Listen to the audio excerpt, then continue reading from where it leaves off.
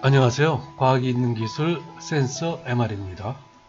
이번에는 109번째 알두이노 NMR MRI 프로젝트를 하겠습니다. 저번 108번째부터 이제 108번뇌를 좀 맞춰보자. 그래서 세 가지 정도로 요약해서 생각을 앞으로 전개해 나가려고 그렇게 했었죠. 하나는 이제 NMR이 뭐 하는 거냐, NMR 타스크, 그, 그거를 마이크로 컨트롤러가 어떤 걸 할 수 있느냐 하는 거 하나. 그 다음에 NMR이 뭐 하냐, NMR 타스크에 대해서 CPU가 할 수 있는 게 뭐가 있냐 하는 거 또 한 덩어리. 그리고 이러한 두 가지 일을 화면으로 좀 보고서 제어해야 되잖아요. 사용자 인터페이스라고 그러죠. 그 사용자 인터페이스를 인, 인, 인 터넷 앱으로, web app으로 만드는 걸로 생각을 했죠. 그러면 우리가 필요한 게 다 있는 거죠. 근데 요것들은 기본적으로 사물 인터넷 갖고 하는 거잖아요. 사물 인터넷 하면 센서가 생각이 나죠. 그래서 우리의 NMR 프로브도 NMR 센서라고 조그맣게 만들어서 붙이는 걸로 그렇게 생각을 했죠. MRI도 마찬가지고요. 이렇게 해서 이제 우리가 세 덩어리로 생각을 하기로 했는데 여기다가 보니까 이제 이미징을 좀 붙이는 게 맞는 것 같아요. 이렇게 그래서 MRI를 같이 생각하는 걸로 그 다음에 NMR 타스크란 말에서 프로세스란 말로 바꿨어요. 타스크란 말이나 프로세스란 말이나 컴퓨터 쪽에서는 두 개를 같이 쓰거든요. 큰 차이 없이. 그 다음에 CPU라는 아 MCU 네, micro controller unit를 micro process unit로 바꿨어요. 여기도 process가 있고 여기도 process가 있으니까 우리가 컴퓨터에서 쓰는 말들하고 우리가 NMR의 프로세서를 연결하기가 좀 더 편할 것 같아요. 이렇게 하면 그리고 마찬가지로 CPU에 대해서도 요 MRI 이미징을 하나 더 하고요. 또 웹 앱에 대해서도 역시 이미징을 포함해서 생각하는 걸로 그렇게 했어요.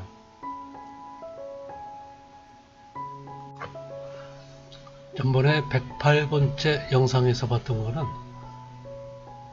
요 MPU에 대해서 Texas Instruments의 SimpleLink라는 그런 제품군을 한번 살펴봤었죠. SimpleLink라는 거. 그 중에서 이제 그 제품군 중에서 첫 번째 거 이렇게 생겼죠.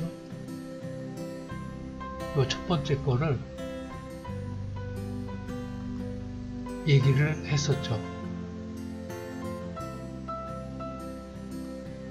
요거죠. 요 MSP432라는 거. 그러면은 요거의 코드들은 전부 여기서 한 거는 요 칩에도 또 갖다 붙일 수가 있고 또 유칩에도 할 수가 있고 해서 여러 가지 어, 와이파이, 블루투스, 그 다음에 어, 1GHz 영역 내에 이제 자신의 기지국을 갖는 이제 그러한 것까지 전부 무선 인터넷 옵션이 다 가능했잖아요. 근데 요 중에서 바로 요 MPU는 우리가 네 번째 NMR 또는 MRI 버전에서 사용하려고 지금 생각을 하고 있어요. 고로 그렇게 준비된 이 하드웨어와 소프트웨어는 당연히 아주 고급스러운 사물 인터넷에 그대로 쓸 수가 있겠죠. 굉장히 고급스러운. 그 고급스럽다는 얘기는 거의 그 독일 사람들이 얘기하는 Industry 4.0에 해당하는 걸 거예요. 그거에 대해서 또 이번에 계속 얘기를 좀 더 할게요.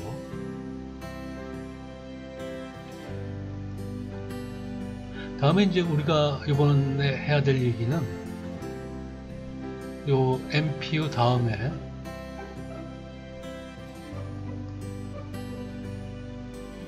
CPU 얘기를 좀 더 해야겠죠.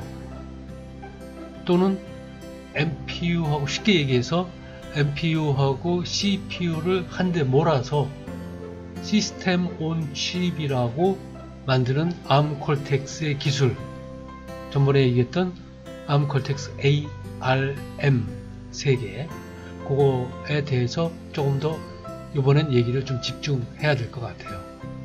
물론 이제 잊어버리지 않기 위해서 어, 웹 앱에서 우리가 어떤 얘기를 했던가 하는 거를 슬쩍 지나가긴 해야 될 것 같아요.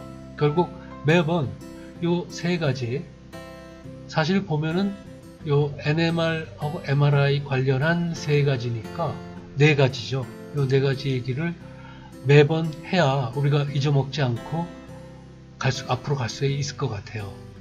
근데 요번에는 요 SOC에 대해서 얘기를 좀 하도록 하죠. 우리가 앞으로 전개해 나갈 요세 세 가지 세 덩어리의 생각에 이 전부 요 NMR 또는 MRI의 프로세서하고 다 이렇게 연결이 돼 있잖아요. 근데 요 NMRI 프로세스의 응용 부분이 명시되어 있지는 않죠. 그래서 하나만 예를 들어보면은 MRI 경우에 요 MRI를 하고 어떤 부분을 집중해서 거기에 대해서 화학 분석을 하는 거죠. 거를 우리가 MR 스펙트로스코피 MRS라고 부르죠. 이런 응용들은 상당히 좀 놀라운 응용들인데 이걸 산업에 갖다 쓰면 진짜 응용 분야가, 분야가 많은데 우리가 상상해 볼 수 있는 게 많잖아요. 문제는 이게 수십억짜리 장치를 써야 되기 때문에 비싸서 못하는 거죠. 그러면은 우리 경우에는 이렇게 사물 인터넷 장치를 갖고 NMR이나 MRI 프로세스를 할 수 있는 방법을 지금 찾는 거잖아요. 그걸 완성해 나가는 거잖아요. 그래서 수십억이 아니죠. 그래서 아주 아주 작은 비용으로 거의 이러한 식의 이런 응용이 상당히 많은데 이러한 식의 응용을 우리가 할 수 있겠다라는 생각을 갖고 지금 사물 인터넷을 갖고 NMR이나 MRI를 지금 추진하고 있는 거죠. 이번에는 이 세 가지 생각 중에서 전번에 MPU를 Texas Instruments 걸로 좀 봤으니까 이번에는 이제 CPU 쪽을 좀 보죠. 또는 SOC. 이번에도 또 Texas Instruments의 PDF를 하나 좀 빌려보도록 하죠. 이걸 어떻게 찾아서 보는 거, 또 전번 영상은 또 어디서 찾나 하는 거는 한 번에 또 얘기를 따로 할게요. 지금 얘기는 이제 SOC인데, SOC에 이제 무슨 system on chip이냐면은 ARM 기술하고 PRU 기술을 두 개를 묶었다 이거죠. 비유를 하자면 여태까지 해오던 라스베리 보고 또 알두이노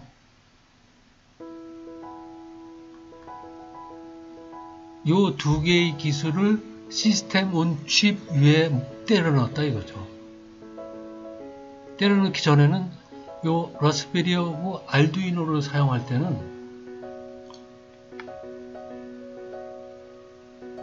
이쪽 라스베리의 명령을 USB 케이블로 연결해서 알두이노에 연결을 했었죠. USB 케이블로. 그게 좀 대역폭이 좀 불안하잖아요. 속도도 그렇고. 그래서 BeagleBone Black이라는 것도 우리가 조금 했었잖아요. 뭐 우스갯말로 찝쩍거렸죠. BeagleBone Black. 근데 요 BeagleBone Black의 칩이 바로 Raspberry의 기능하고 Arduino의 기능 두 개를 system on chip 위에다 때려놨다 이거죠. 한 칩 안에다가. 그래서 그 구조를 보면 이렇게 생겼다는 얘기예요. 그래서 그 얘기가 바로 ARM Cortex A와 또 microcontroller 같은 PRU 기능. 단 이거는 real-time이기 때문에 어, 이 Texas Instruments에서는 PRU라고 불러요. microcontroller인데 실시간 기능이 있다 해서 아주 좋죠. 왜 그런가를 우리가 또 조금씩 보도록 하죠. 요 ARM 더하기 PRU SOC라는 얘기는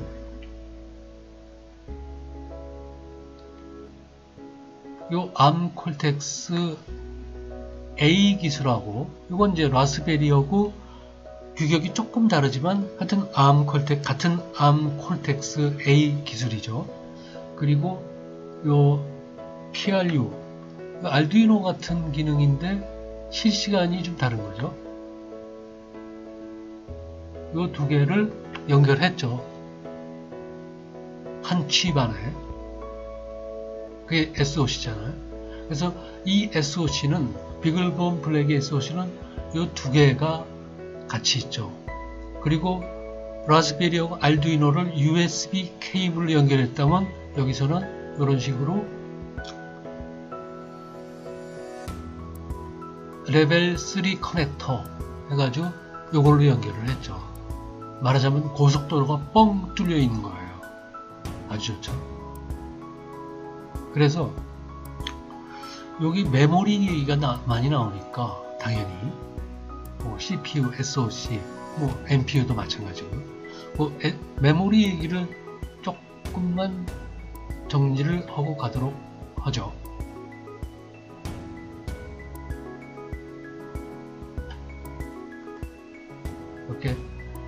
찾아놨는데 어, 마이크로 아 저기 알두이노 알두이노 사이트에서 어, 검색을 해보면은 이렇게 메모리를 검색해 보면은 메모리에 대해서 이렇게 아주 기본적으로 정리가 되어 있죠. 그래서 우리가 여기서 볼 수 있는 이 메모리에 대해서 좀 생각을 해보려고요. 간단하게. 메모리가 이제 이렇게 프레시 메모리하고 SRAM하고 EPROM 이렇게 세 가지로 이해를 들었네요. 알두이노에서는. 그래서 이 플래시 메모리는 프로그램을 저장하는 데고 그러니까 우리가 스케치로 프로그램을 짜서 업로드하면 바로 이 플래시 메모리에 들어가죠. 그런 기능이 이 레벨 1 cache에 같아요. cache란 말은 직역하면은 역마차잖아요. 그러니까 물건 딱 싣고 그냥 가는 거죠. 뭐 시간을 질질 끄는 게 아니고 이것도 마찬가지잖아요. 플래시도 그 즉시잖아요. 이 SRAM은 반면에 Static Random Access Memory는 SRAM이죠.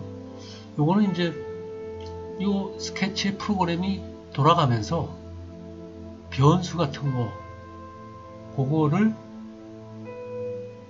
취급하는 거다. 뭐 저장이죠 여기서는 그렇게 돼 있네요. EPROM 얘기는 Electrically Erasable까지만 하고 여기서 그만하죠. 그래서 이제 플래시 메모리하고 SRAM이 있는데 여기도 보니까 이렇게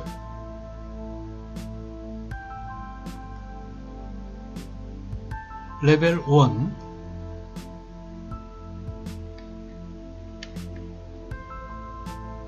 레벨 1에 instruction 하고 데이터 cache가 있네요. instruction 하고 데이터 그러니까 프로그램 코드하고 데이터 이 두 가지를 아주 빨리 저장할 수가 돼 있죠. 있게 돼 있죠. 여기 보니까 거기에다 요, 요런 데다 저장하는 건 시스템 clock에 한 사이클 밖에 안 걸린대요. 그러니까 요 Cortex A는 지금 1GHz 칩으로 지금 설계해서 만들었잖아요 요 BeagleBone Black에서 그래서 1, 2GHz의 clock 중에 한 사이클이면은 여기에 접근이 된다는 얘기죠. 요 instruction 램에 또는 데이터 램에 어마어마하게 빠르잖아요. 그 다음에 레벨 2도 있죠. 데이터에 대해서 데이터가 많을 수도 있으니까 여기서 넘치면 여기로 가야겠죠. 그리고 SRAM도 있, 있죠. 방금 전에 Arduino에서 봤던 거하고 똑같이 물론 크기는 굉장히 크죠. 전부 온 칩이죠. 칩 위에 있으니까 굉장히 빠르겠죠. 이렇게 한 사이클밖에 안 걸리죠. 틱틱틱틱 하는데 틱 하면 끝난 거예요. 그냥 다음에 이쪽 알두이노 같은 이쪽은 알두이노 같은 게 두 개가 들어 있어요. 이렇게 PRU 제로라는 놈하고 PRU 1이라는 거.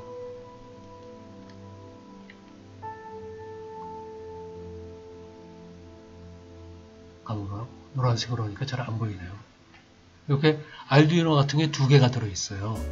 그리고 방금 전에 본 것처럼 이 PRU라는 덩어리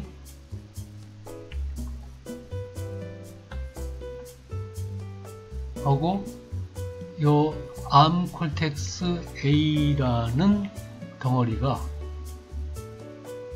이렇게 L3 레벨 3의 인터커넥트 상호 연결하는 버스에 의해서 연결이 되어 있죠. 이것 또한 어마어마하게 빠른 거죠. 그러니까 알두이노하고 라스베리를 케이블 줄로 연결했던 거는 비교가 안 되겠죠. 그 대역 폭도 그렇고 속도도 그렇고 그래서 그래서 여기 본 real-time이라는 얘기를 그래서 하는 것 같아요. 그리고 이거를 MCU나 MPU로 부르질 않고 PRU라고 부르죠.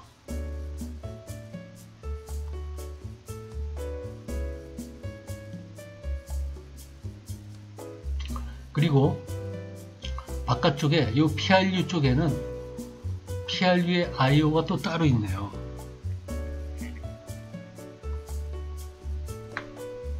요게 아마도 독일 사람들이 얘기하는 Industry 4.0에 쓰면 딱 되는 것 같아요. 모든 주변 장치를 어떠한 형태로의 프로토콜이라도 다 연결할 수 있으니까요. 인터넷 포함해서 상당히 우수한 칩인 것 같아요. 그리고 더 놀라운 거는 이 PRU 안에도 이렇게 램이 또 들어있어요. 메모리가. 또이 L4 인터커넥트라고 레벨 4의 interconnect가 있는데 거기에도 이 shared 램이 메모리가 들어있고요. 이렇게 메모리 두 개가 또 있으니까 예를 들어서 여기는 골목길이고 여기는 뭐 버스 타고 나갔고 그게 고속도로로 가가지고 이쪽 PRU 덩어리 쪽으로 가잖아요. 어마어마하게 빨리 고속도로 또 국도도 또 있어요.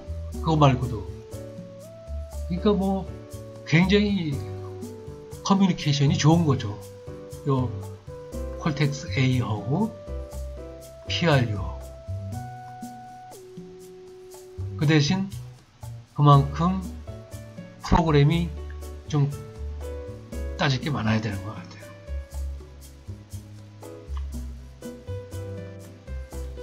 우리가 매번 할 때마다 이제 세 덩어리를 하기로 했던 거 이렇게 세 가지 MPU, CPU, 앱.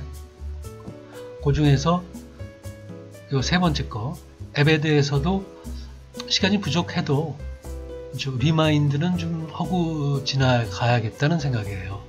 그래서 우리가 하던 게 요 익스 프레스로부터 시작하는 웹 앱을 만드는 framework 그 framework를 좀 생각을 해왔었죠. 요 끝에 거는 이제 Flutter 요거는 모바일 환경에 적합하다고 우리가 알았고요. 그리고 우리가 NMR이나 MRI를 하려면은 데이터를 주고받아야 되니까 MRI는 데이터가 좀 많겠죠. 영상 데이터. 그래서 WebSocket이 필요하겠다. 그래서 이것도 거기를 했고요. 이때 필요한 언어는 JavaScript죠. 그래서 이 JavaScript도 토막을 내가지고 쭉 해오고 있었죠. 그리고 계속 연결해서 할 거고요. 오늘은 물론 이렇게 remind만 하지만 근데 이제 이거 안 해도 되는 거 아니냐 그러고 책꽂이에 꽂아놨던 Java라는 것도 또 끄집어냈어요. 그 이유는 이제 이 JavaScript는 비동기식으로 callback 함수를 쓰니까 연결하는 데는 무한히 뭐 잘 연결하는데 작은 시스템 갖고도 이 콜백 함수가 주는 시간 지연이 있죠. 그래서 우리 같은 바쁜 사람들은 좀 안 돼요. NMR이나 MRI에서는 안 된다기보다는 좀, 좀 어려움이 많죠. 그래서 이 자바 그리고 그거는 이제 말하자면 수없이 연결하는 I/O 인풋 아웃풋이 인텐시브한 그런 그 응용이잖아요. 근데 만약에 그게 아니고 CPU가 intensive하다, 뭐 분석을 많이 하고 이런다 이거죠. 그럴 경우는 아, 저 JavaScript 좀 아닌 것 같다. 그 다음에 말하자면 enterprise급의 아주 거대한 시스템이다. 그럴 때도 역시 JavaScript 갖고는 좀 어렵다 해서 Java를 다시 끄집어낸 거죠. 책꽂이 꽂아놨던 걸. 안 할 수 있었으면 참 좋은데 해야 돼요. 보니까. 특히 요 Flutter라는 JavaScript를 쓰는 요 framework 대신에 요 Java를 쓰는 framework는 Spring이라는 게 또 있더라고요.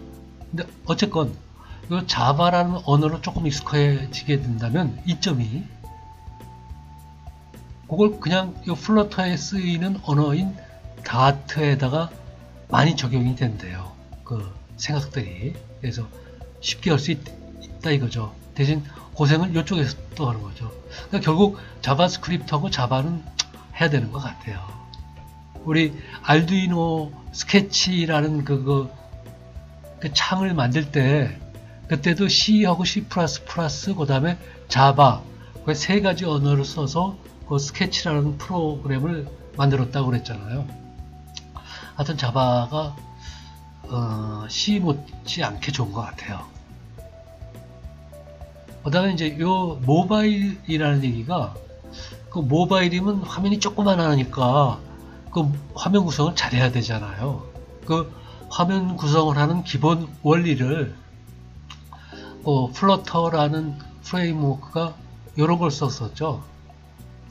프랙탈이라는 물리학의 원리죠. 그래서 그 프랙탈에 나오는 대표적인 그 가로 세로 비율로 그 Flutter라는 framework를 만들었죠. 그래서 그거는 이 프랙탈이라는 건 뭐 눈송이처럼 한없이 반복되는 거잖아요. 같은 비율로. 같은 모양이 계속 반복되잖아요. 그거를 이제 만약에 화면으로 구성한다면 이런 식으로 화면 크기가 반복되지 않을까라고 생각을 한 거죠.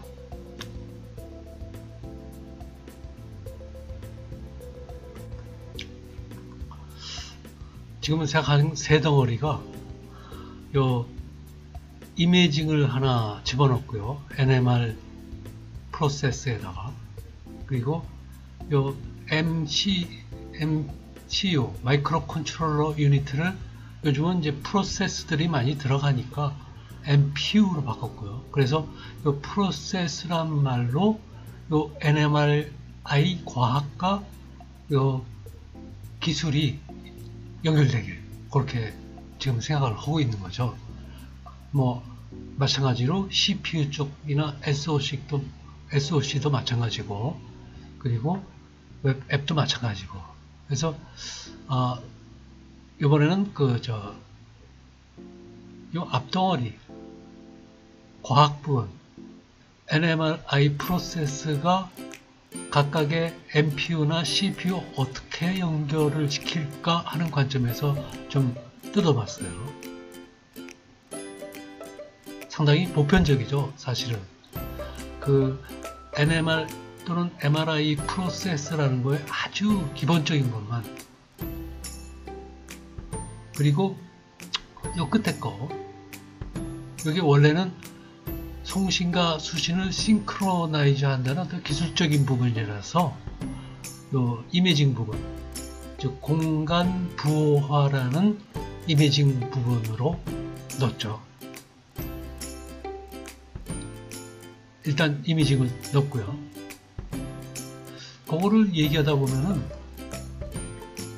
이거 굉장히 빨리 진행해야 돼요. 시간을 많이 써서 우리 자석이 있으면은 원자핵이 자석처럼 행동하는 지만 효과가 있다고 그랬잖아요. 그거는 뱅뱅 돌고 있는 세차 운동하는 그 원자핵 자석을 이렇게 보여주죠. 하나의 고주파 펄스가 에너지가 들어가면 근데 요거는 이제 요 자석을 중심으로 해서 요, 요 축을 볼때 아, 보통 N극에서 S극으로 하는데 요거 제가 아주 거꾸로 했네요. 아무튼 자석의 자장축을 중심으로 해서 좌표를 그릴 때 요 파란 선은 펄스를 맞고 쓰러지는 거 요거는 회전좌표계에서 본 거예요. 같이 돌면서 본 거죠. 그 다음에 요 빨간 거는 그 회전좌표계에서 빠져나와서 지상에서 본 거죠. 정지 좌표계에서. 그래서 두 개의 좌표계를 지금 같이 그려놨기 때문에 그거 좀 어, 혼동하기 쉽거든요. 아무튼 여기 이제 그 코일이 들어간다면 요 지금 움직이고 있는 게 지만 효과에 의한 원자핵 자석이잖아요. 자석이 코일 안에서 움직이면은 이런 식으로 신호가 발생하겠죠. 신호는 발생하는데 이런 생각을 조금 해야 돼요. 그, 요 원자 핵 외에 물질에 있는 게 그게 저 전자잖아요. 그래서 그 전자를 꿀로 비교를 해보죠. 그래서 요걸로 원자핵 자석으로 뺑글뺑글 돌리는 게이 꿀을 맞다기로 휘젓는 거고 비슷해요. 그러니까 끈끈하구나 하고 우리가 느끼는 거죠. 그 개념을 좀 하나 가져갔으면 좋겠고요.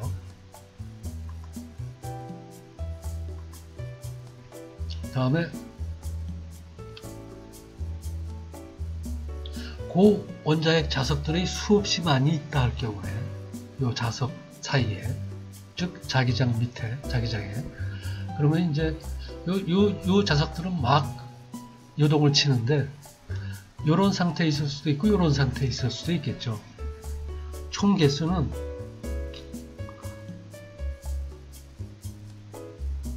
이렇게 아보가드로 수만큼 많이 있어요. 요 숫자가.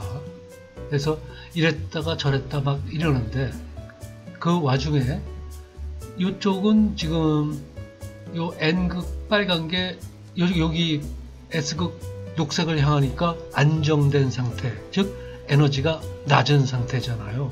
그래서 이렇게 있을 확률이 더 크죠. 그래서 좀 개수가 더 많은데 그 확률을 볼주만 통계에 따라서 그 안정된 상태에 초과하는 개수를 계산해 보면은 대략 볼주만 통계에 의해서 100만 분의 1 정도. 요 전체에 요 전체. 그러니까 약 동그라미가 23개에서 17개로 줄죠.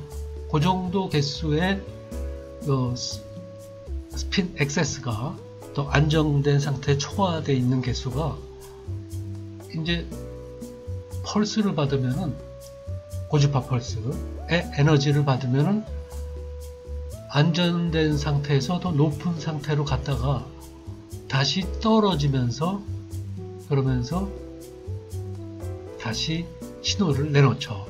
이게 양자역학적으로 본 지만 이펙트에 의한 NMR 신호죠. 이게 나올 때 방금 전에 얘기했던 꿀을 상상하면은 그 꿀의 끈적끈적함이 이 신호에 묻어 나온다. 모듈레이션 돼서 나온다. 변조돼서 나온다. 이렇게 일단 했으면 해요. 다음에 MRI 이번에 넣었으니까 MRI는 어떻게 되는 거냐? MRI는 이렇게 코일을 두 개 더 감아줘요. 줘요. 만약에 요 자석 두 개, N극, S극 자석 사이에 자기장을 요 전류의 방향을 요 두 놈을 반대로 해놓으면은 아무튼 간에 이쪽으로 가면서 세지고 저쪽으로 가면서 세지고 경사진 자기장이 생기겠죠. 그래서 그걸 우리가 경사 자기장 또는 magnetic gradient field 이렇게 얘기를 하죠.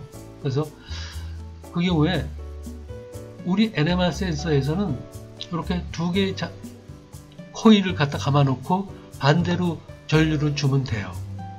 계속 줄 필요는 없고 신호가 나올 때만 줘도 되겠죠. 펄스 형태로 탁 켜고 탁 끄고 이렇게 하면 되겠죠. 그런 형태로. 그러면 이제 양자각적으로 보면 이제 이런 식으로 이제 왔다 갔다 하는데 원자 X핀이 고전적으로 보면 이렇게 다른 주파수로 두 개의 주파수로 움직이겠죠. 이 그림은 같은 걸 썼기 때문에 지금 같이 움직이는 거로 되어 있는데 다- 살짝 다른 어, 주파수로 돌아가는 거죠. 그래서 두 개의 주파수로 돈다면은 그 신호를 방금 전에 봤던 것처럼 코일로 받으면은 이게 코일 안에 쏘는 일종의 발전기잖아요. 그래서 그 전류를 우리가 받을 수가 있는데 이렇게 주파수 공간에서 그 신호가 두 개로 나오겠죠. 하나, 두 개로. 이 두 개의 스핀에 대해서. 이런 식으로 위치에 따라 원자핵 스핀이 도는 속도가 달라서 그 위치를 알아낼 수 있다면 그 신호의 위치를 주파수 축에서 이게 바로 MRI죠. 단 이 경우에는 요 한 축에 대한 것만 지금 한 거죠. 즉 one dimensional MRI다 이렇게 얘기할 수 있겠죠. 나머지 두 축에 대한 거는 또 차츰 얘기를 할게요. 혹은 단지 요 코일을 어떻게 감았느냐 하는 그 방법 만 다른 거니까. 다음에 이제 그거는 이제 초전도 자석의 경우에 보면은 방금 전에 그 고, 고일 코일을 고리로 만들어 쓰던 게 요 하얀 부분이에요. 물론 여기 보이는 거 요거는 이제 수- 아주 작은 서랍을 수없이 이렇게 놔가지고 거기에 쇠를 갖다 넣는 거죠. 그거는 이제 자장을 맞추려고 고치려고 shim이라고 그러죠. 그리고 거기다가 이제 그 철편 같은 걸 넣어서 하기 때문에 passive shim이라 그래요. 그리고 전자석을 동원해서 하는 거는 active shim이라고 그러고요. 아무튼 간에 그런 영상에 필요한 장치들을 추가한 게 NMR이다. 그게 MRI다라는 얘기를 하는 거죠. 그 다음에 이제 그 코일들은 이렇게 생겼어요. 요 하얀 원통에 감겨 있는 코일은 이렇게 빨로파색의 세 가지 방향의 코일이죠. 그러니까 앞뒤 방향이 하나 있고 좌우 방향이 있고 위아래 방향이 있고 그래서 세 가지 방향으로 X, Y, Z 세 개의 코일을 감고 그거를 신호가 생길 때마다 켜주는 거죠. 경사자기장에 생기게.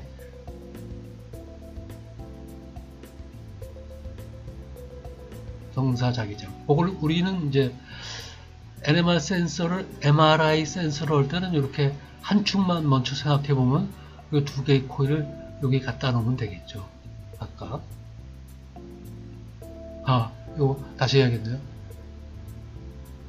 지금 시간이 많지 않아서 전체를 다시 못하고 이렇게 해서 또 NMR 센서를 MRI 센서로 할 때는 이렇게 두 개의 코일을 감아서 하나는 여기다 놓고 하나는 여기다 놓으면 되겠죠. 원 디멘셔널일 경우에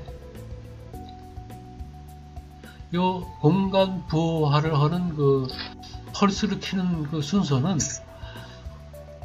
다음번에 할게요. 지금 시간이 좀 부족한 것 같아서 어, 그냥 눈도장만 찍고 다음번에 조금 시간을 좀 갖고 해야 될 것 같아요. 이건 따로. 그래서 중요한 거는 요 고주파 펄스를 키고 동시에 요 신호가 나올 때 사실 얘네들은 요 신호가 나올 때 켜줘야 돼요. 근데 이 지면이 좀 한정이 돼 있어서 할 수 없이 이쪽에다 그렸죠. 요 신호가 켜질 때 그 신호마다 그 그게 어디서 나왔다는 위치를 우리가 코딩을 하는 거죠. 인코딩을. 그래서 공간 부호화하는 고주파 펄스하고 영사 저장 펄스에 또 그걸 메모리에 갖다 넣는 것까지 해서 순서로 한번 정해봤어요.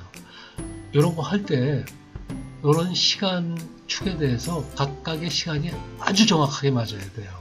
그래서 알두이노 갖고는 좀 힘들지 않을까 하는 생각이 있어요. 물론 알두이노도 이제 듀에 같은 거 콜텍스 기술이 들어간 칩을 쓰는 알두이노 듀에 같은 경우는 가능할지도 모르겠어요.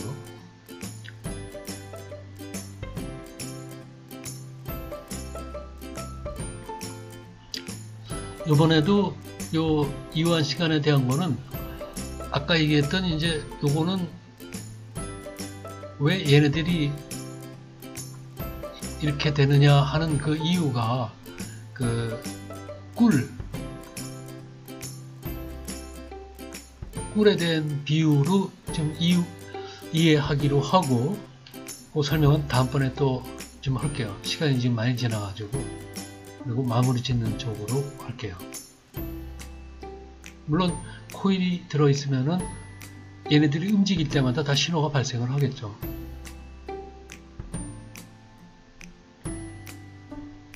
이번에도 이제 구독하고 의견 언제나 부탁드릴게요. 이 영상을 만들다 보면은 제가 이제 그 시청 시간은 그걸 이렇게 모니터를 하거든요.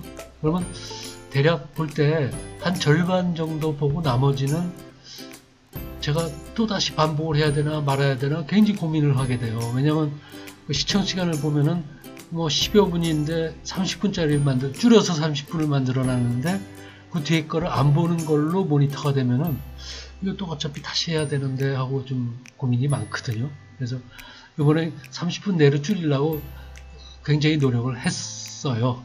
예. 수고 많으셨고요. 감사합니다.